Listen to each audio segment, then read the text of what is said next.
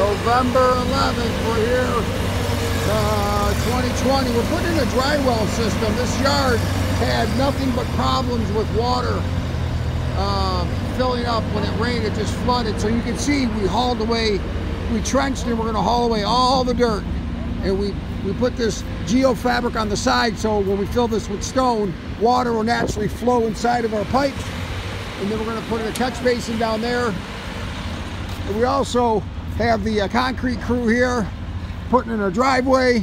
We're also going to extend all the gutters and all the gutters are going to eventually connect into this system here and solve the customer's problem.